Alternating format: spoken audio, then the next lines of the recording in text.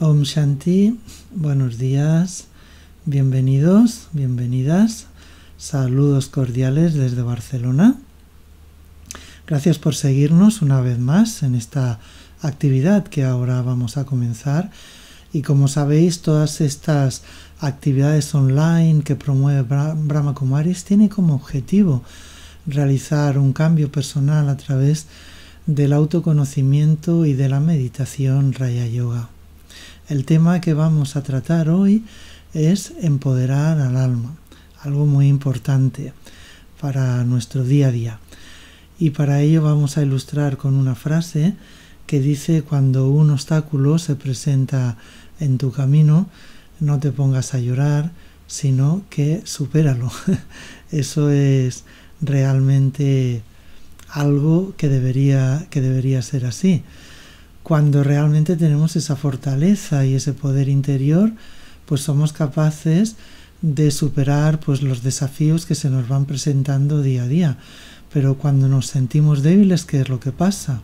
Cuando nos sentimos débiles, lo que ocurre es que entramos en el llanto, ese llanto que dice la frase, pero a otro nivel podemos entrar en el lamento, entramos en la queja, eh, son todas esas formas de mostrar nuestra impotencia ante esa, esa situación que tenemos delante y a poderla superar.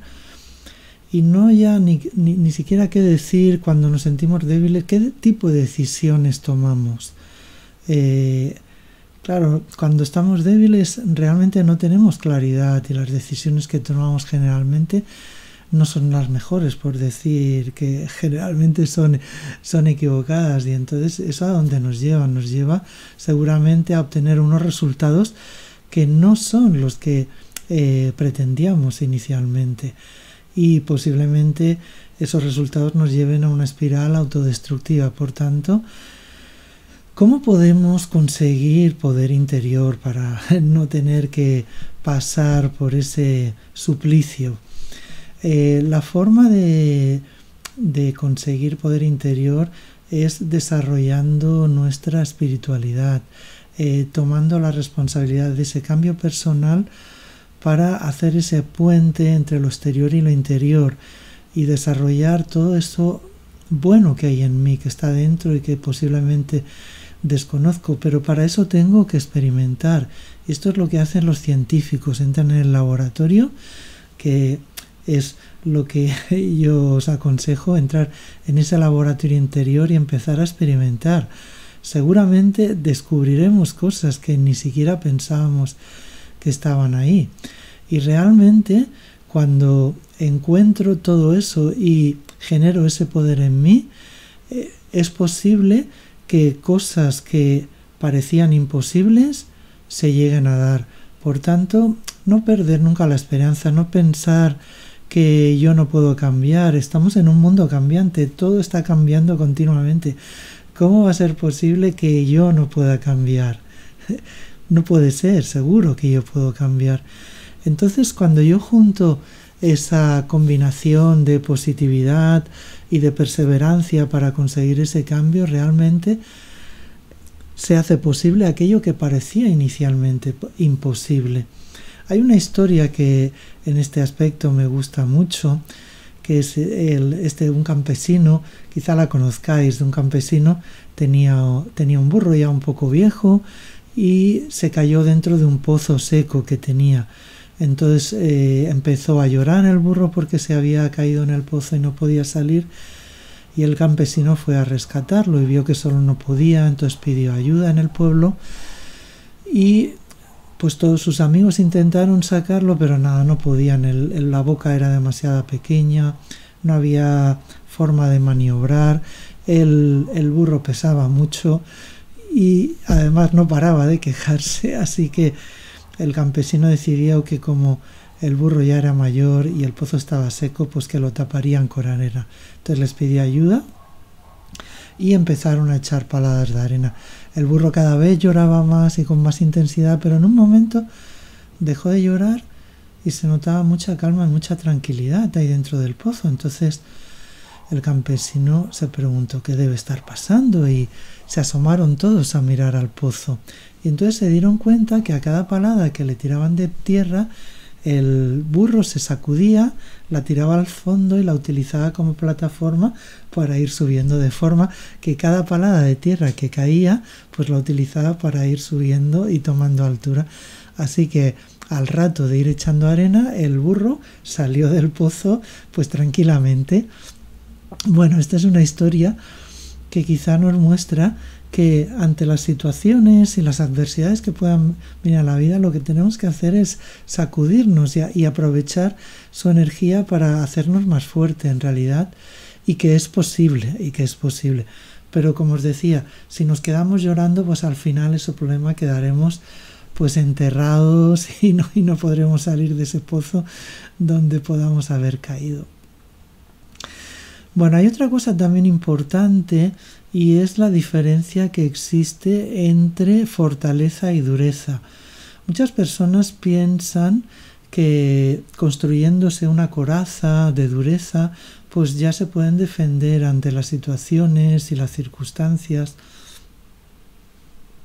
y las relaciones. Pero esa coraza está basada en la dureza y la dureza es una cualidad que sabemos que está asociada con la fragilidad. Sabéis que el, el material más duro que existe en la Tierra es el diamante, pero a la vez es el más frágil porque si recibe un golpe se rompe. Y entonces, ¿qué es lo que ocurre? Que sí, ponemos esa coraza, pero que es una coraza que también está construida en base al ego y a la arrogancia. O sea, es, es, es una coraza que en realidad no, no, no, no tiene, dentro está vacía, no, no tiene, no, no hay una fortaleza en ella. Y entonces cuando recibe un golpe, que sería un golpe de la vida, y se rompe, ¿qué, qué, qué es lo que hay dentro? Dentro no hay nada, solamente todo está vacío. Y entonces ese vacío hace que mi sentido de la vida, cuando se rompe esa coraza, eh, se, quede, se quede vacío, no, no tenga sentido en mi vida. Y entonces me hundo yo. Eso es lo que le pasan a muchas personas, ¿no? Que parecen así muy duras, muy fuertes, entre comillas, pero que cuando les viene un golpe en la vida se hunden, no saben y no saben eh, salir de, esa situación. Entonces por eso es tan importante desarrollar ese poder interior. Entonces ese poder interior, por otra parte, si lo, eh, si lo construimos en base a desarrollar, por ejemplo, nuestras cualidades, las cualidades del alma, eso hará que se entretejan unos hilos y creen un tapiz interior que realmente sí que nos proteja.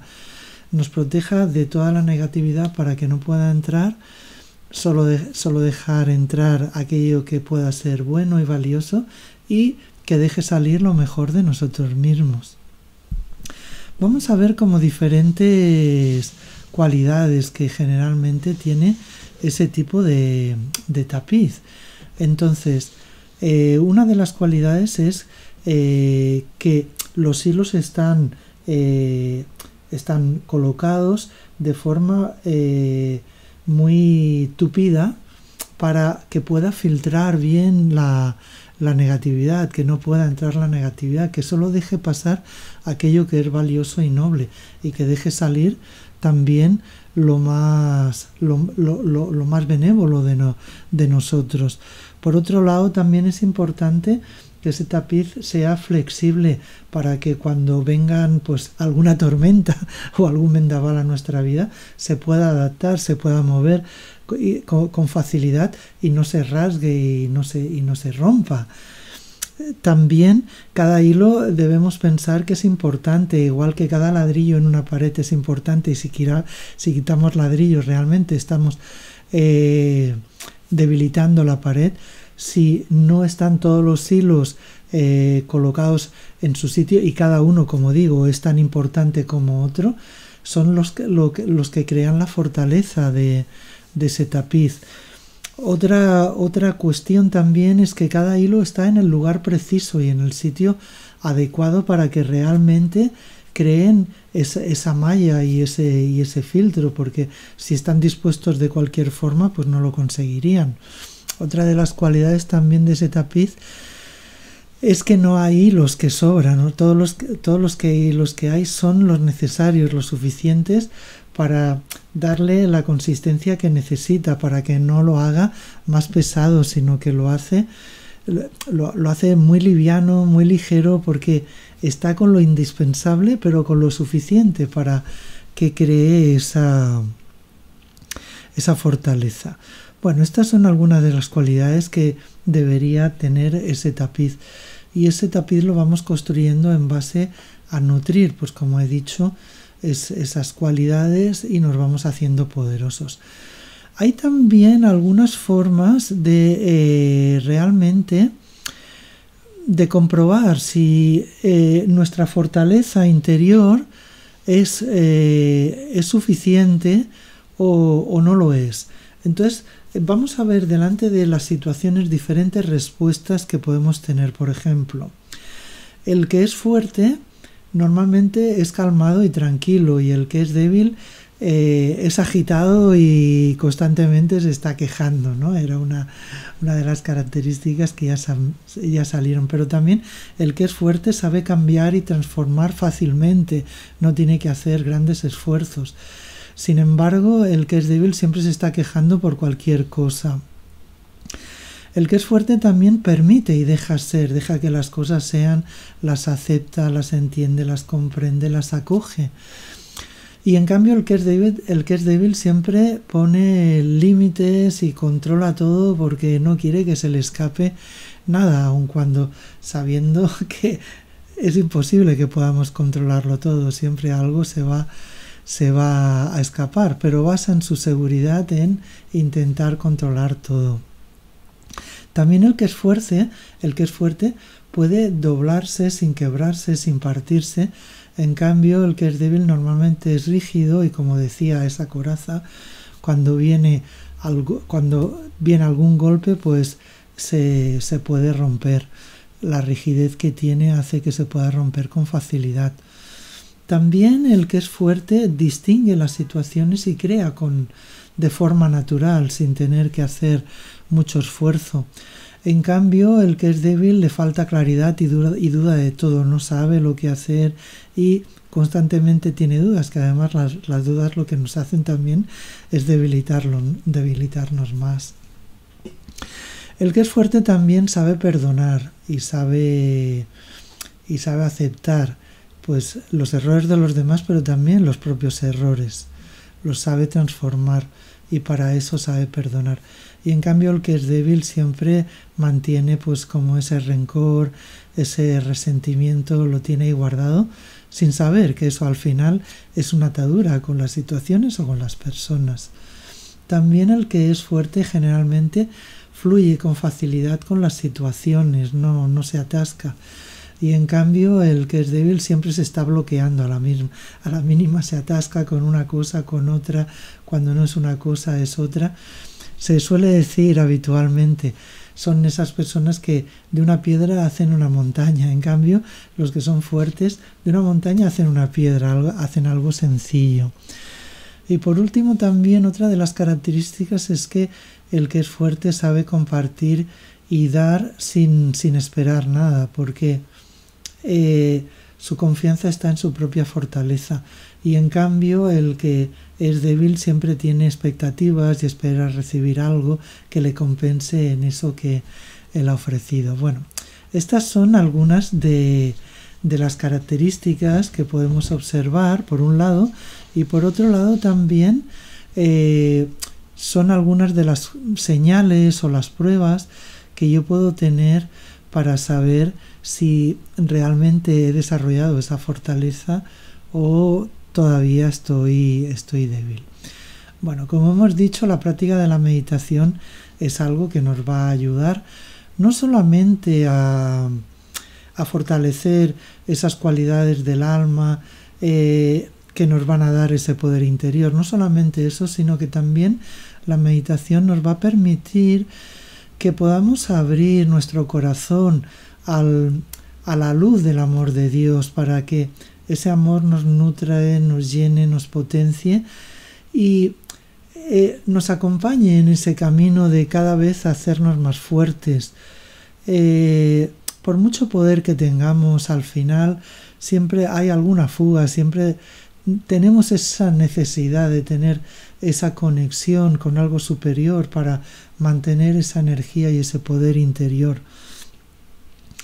Y, es, y, en esa conexión se van a desarrollar esos poderes internos del alma que son la introversión, que son el poder de soltar o de empaquetar, que son el poder de la tolerancia, el poder de amoldarse, de ser flexible, el poder de distinguir o de discernir, el poder de juzgar o de tomar decisiones, el poder de afrontar y el poder de cooperar. Estos son poderes que automáticamente el alma va, va tomando y se, va, y se va llenando de ellos y además son poderes que nos van a ayudar a poner toda esa espiritualidad, todo ese trabajo interior que estamos haciendo, van a servir como puente para llevarlos a la práctica. Son, eh, a, veces digo, como una caja de herramientas en las cuales en un momento cogemos uno o cogemos otro, depende de la situación. Por eso el poder más importante de todos es el de discernir, porque es el que nos dice eh, o el que nos hace saber que en cierta situación qué es la herramienta, cuál es el poder que debemos utilizar o no. Eso es lo que nos dice. Muy bien, pues para, para completar un poco esta pequeña explicación, vamos a hacer un ejercicio para tomar conciencia, para tomar ese poder interior, desarrollar esa fortaleza que hay en nosotros. Y para eso lo que vamos a hacer es adoptar una postura cómoda allí en el lugar que estemos. No importa cuál, pero sí que es importante que esa, postura sea una postura digna. Digna quiere decir que eh, sea cómoda por un lado, pero por otro lado nos permita mantenernos alertas y atento y atentos a las situaciones, a, a los momentos. Así que vamos a tomar esa postura Normalmente vamos a poner la espalda recta, los hombros estirados, como si un hilo estirara de nuestra cabeza. Esa es la postura de mayor dignidad. El cuerpo debe permanecer cómodo y relajado, pero también atento a las instrucciones de la mente y de los propios sentimientos. Así que ahora vamos a utilizar nuestra respiración para que nos ayude a enfocar nuestra energía hacia el interior, pero también nos ayude a concentrar nuestros pensamientos. Así que respiramos profundamente y suavemente. Eso es. Inspiro y exhalo lentamente. Con plena atención a cada respiro. Inspiro y exhalo muy suavemente, con plena atención, observando cómo el aire va entrando y saliendo de nuestros pulmones como si fueran las olas del mar que vienen y se van, que vienen y se van.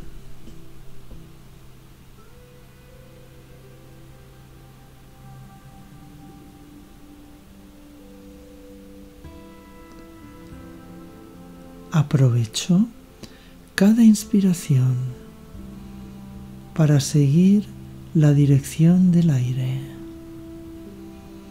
Y así voy adquiriendo un estado introvertido. Voy experimentando un silencio muy dulce y profundo.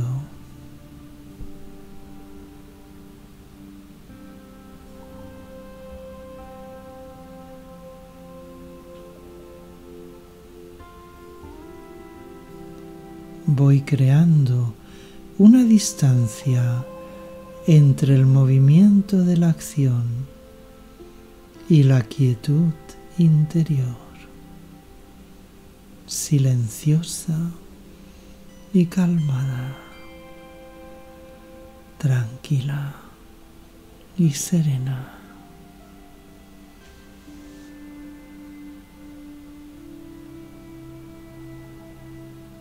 Me siento como un observador desapegado, un observador de mí mismo, un observador neutral y estable.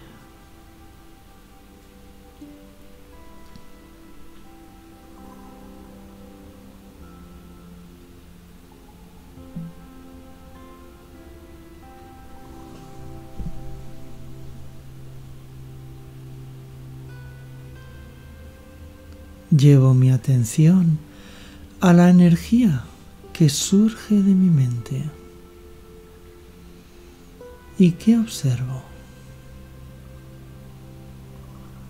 ¿Cómo me siento?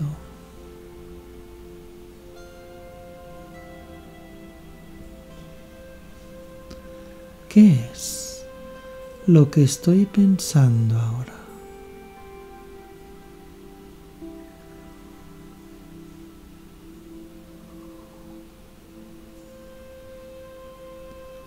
Y sea lo que fuere, no intento juzgar ni analizarlo. Solo lo observo con neutralidad. Aquello que pienso o siento, lo acepto como mi propia creación.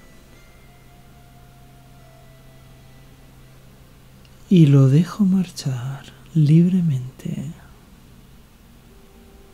sin oposición.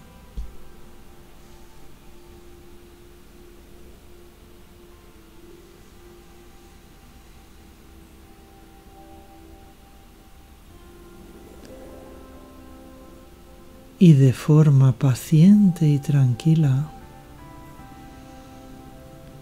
voy permitiendo que mis pensamientos se conviertan en pensamientos calmados y dulces, en pensamientos del ser original que soy yo.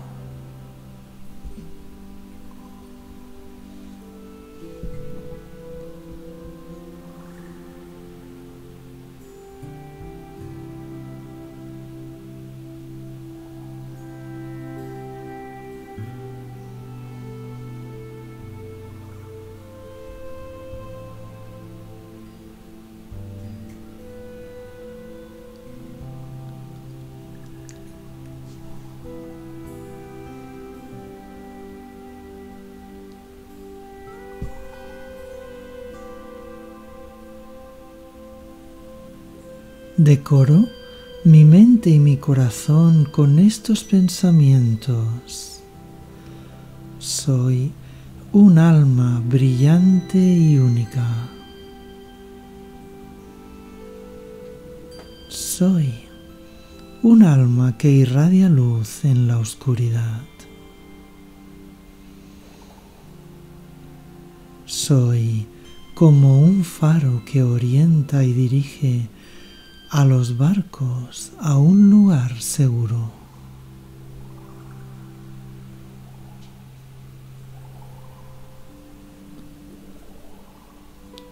Soy un alma que esparce la fragancia de todas las virtudes. Soy una flor viviente en el jardín de Dios.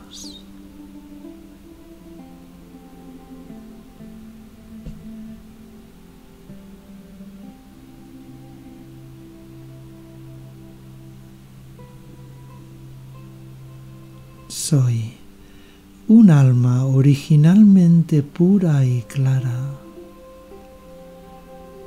Soy un alma elevada y resplandeciente, siempre alegre y sonriente, como un bebé divino, satisfecho y contento. Eso es lo que soy yo.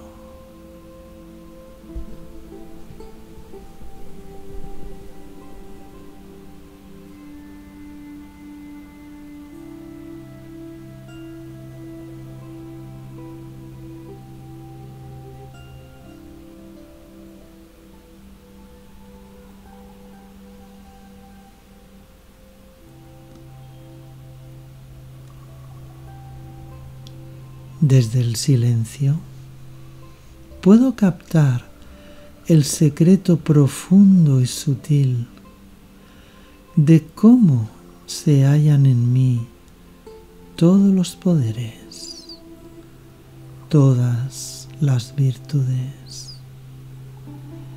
Están ahí, latentes en mi interior, a punto solo esperando a que yo las utilice.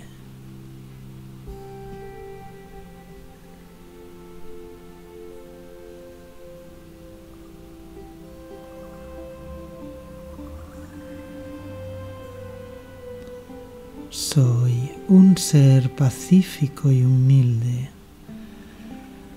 un ser inmerso en un oasis de paz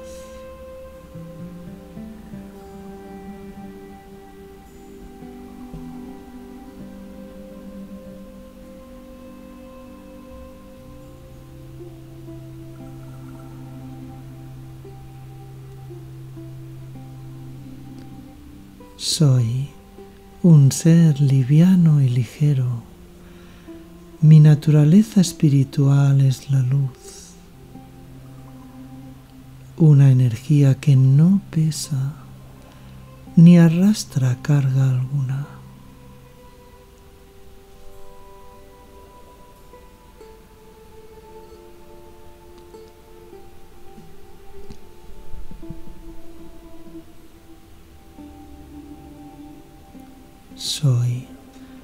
Ser paciente, dulce y muy, muy calmado. Un ser que acepta y comprende, fluyendo libremente en el río de la vida.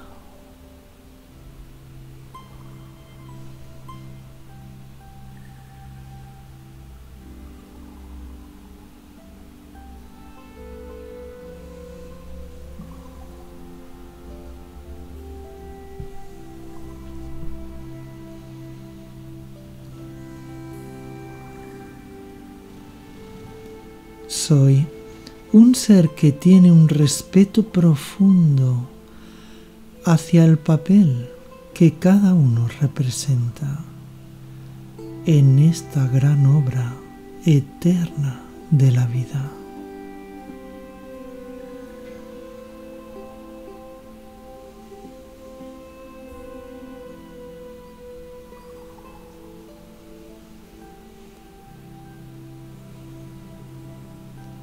Desde la calma y la quietud puedo observar con claridad, sin temor a equivocarme, cuál es realmente la necesidad de cada momento, tomando las decisiones más oportunas las decisiones más idóneas.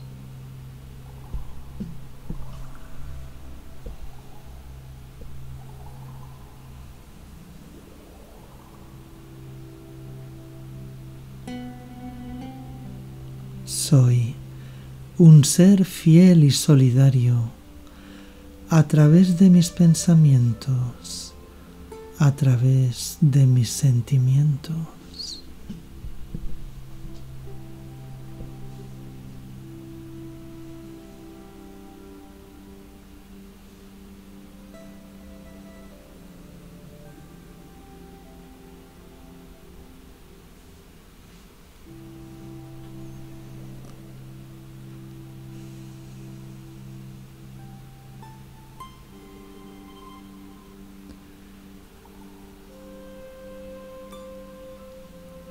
Este sentimiento genera una visión de mí mismo y de los demás, de nuestra forma divina,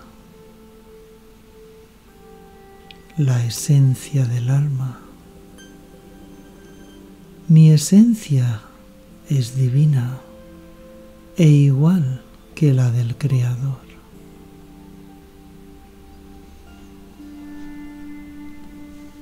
Siento la conexión de un amor eterno con Dios, como una suave y cálida corriente.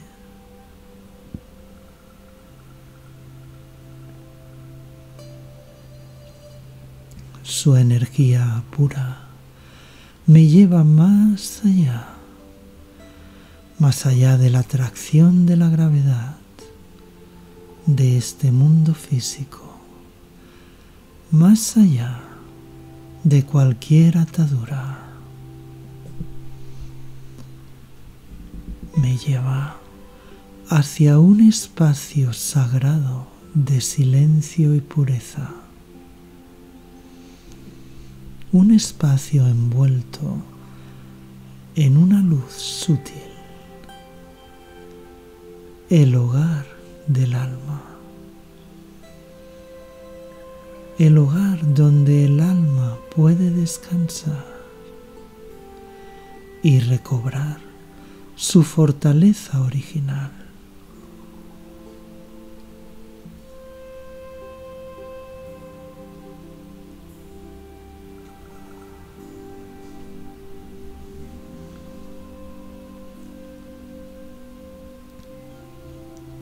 En ese plano de conciencia puedo recargar mi corazón con la energía más benevolente, con la energía de Dios.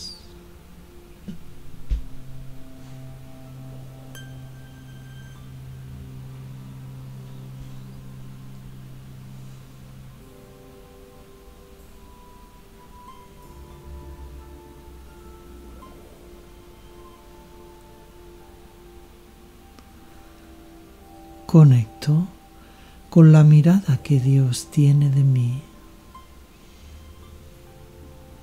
y veo mi cuerpo de luz totalmente limpio, transparente y claro.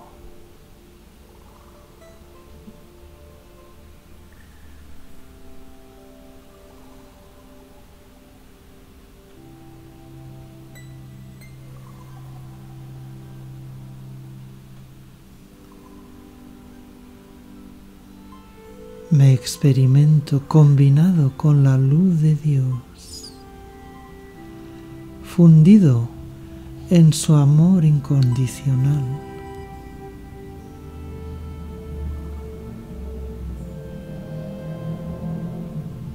Y durante unos instantes permanezco sumergido en esa quietud en esa silenciosa inmensidad, recargándome, restaurando al alma en su estado original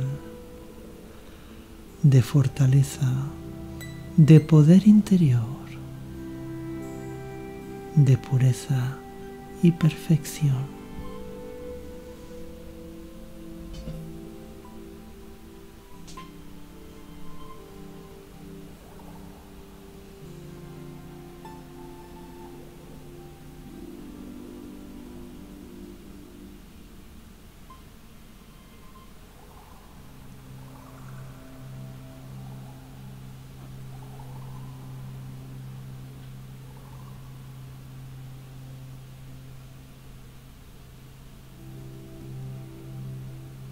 Absorto en la luz del amor de Dios, permito que su energía llene todo mi ser de paz, de amor, de poder, hasta alcanzar la plenitud en el silencio, en la quietud.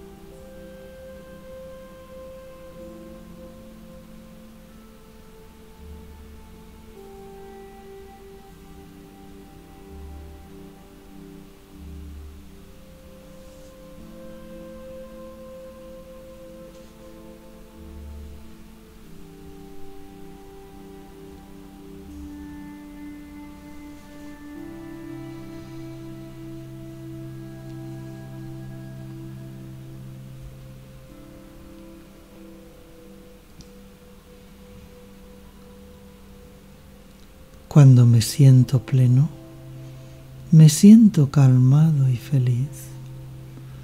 Me siento libre, totalmente libre. Y puedo desarrollar la experiencia de lo que realmente soy.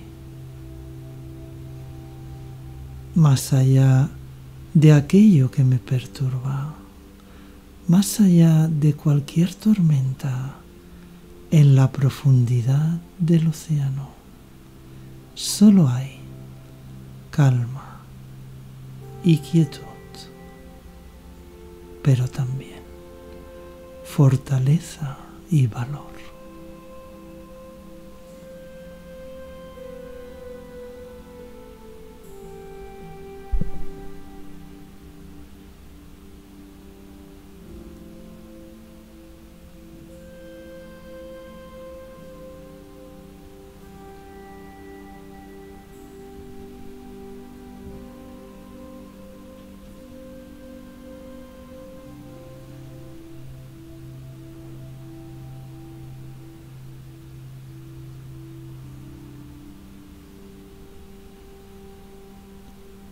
Soy un ser único. Soy un ser poderoso y elevado. Me tomo el tiempo que necesite para llenarme totalmente y suelto todo aquel lastre que me impida avanzar, llenándome de poder interior en la quietud, en el silencio, en la dicha.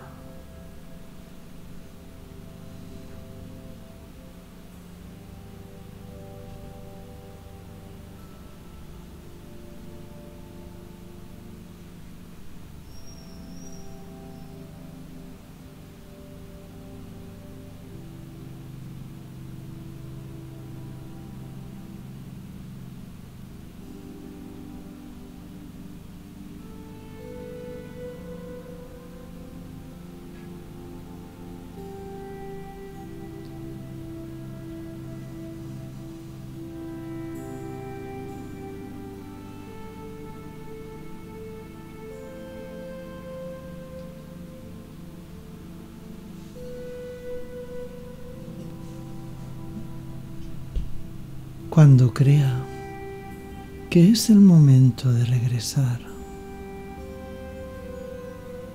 poco a poco, tan suavemente como cuando abandoné el mundo de la acción y de las relaciones, voy volviendo a él, pero ahora sintiéndome lleno con el poder interior,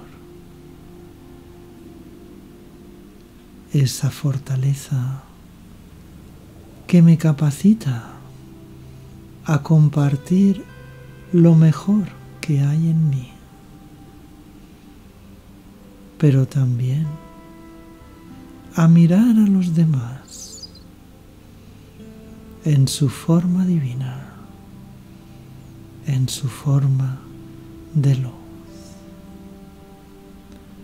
Om Shanti.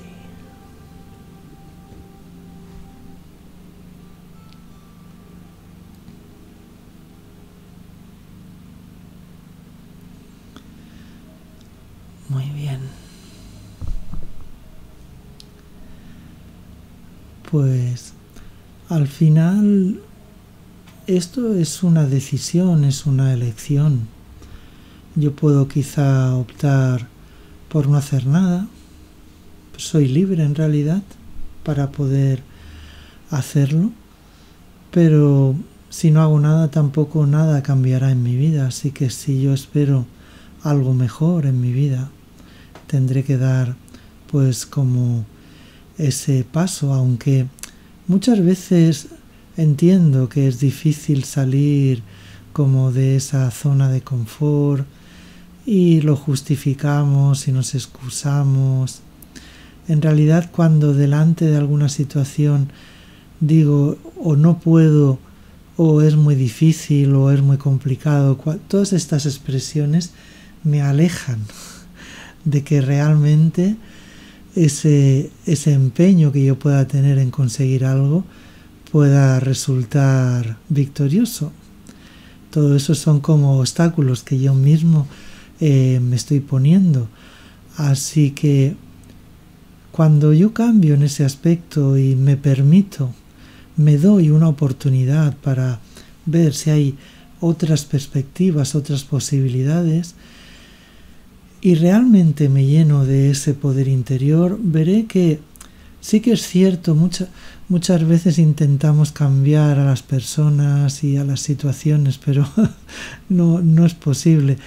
Y, y, en otras ocasiones, en vez de cambiarlas, intentamos controlar para mantenerlas a rayas, pero tampoco es posible. Casi todos nuestros empeños en, en esas campañas están abocadas al fracaso. Seguro que tenéis muchas situaciones que os habéis encontrado así. Por tanto, vale la pena hacer ese esfuerzo, tomarse ese tiempo que en realidad es una inversión hacia uno mismo, entrar en, ese laboratorio interior y empezar pues con los tubos de ensayos, ¿no? A mezclar esto con aquello y ver realmente lo que ocurre, lo que pasa. Porque Luego, como, como ya digo, quizá las personas que tengo alrededor no van a cambiar, quizá las situaciones no van a cambiar, pero mi vivencia, mi percepción de las situaciones, mis reacciones delante de las situaciones, mi tendencia sea realmente de estar más conectado con, con la calma, con la tranquilidad, con el amor, con la felicidad, con todas estas cosas no con la agitación, no con la desconfianza, no con la inseguridad, no con la incerteza, no con todas estas cosas que realmente nos debilitan y hacen que nos sintamos en definitiva mal y nos sintamos infelices. En realidad todos queremos ser felices, pero cada uno coge el camino que quiere coger y a veces esos caminos eh, nos llevan a una felicidad ficticia bueno, cada uno sabrá lo que hacer, pero realmente cuando el alma se llena de poder, nuestra vivencia física, nuestra vivencia en las acciones y en las relaciones es totalmente diferente. Bueno, lo podéis comprobar, esto es algo muy práctico. Muy bien, pues entonces nos vemos en la próxima ocasión, que no será muy tarde, quizá dentro de dos semanas. Pues hasta la próxima. Om Shanti.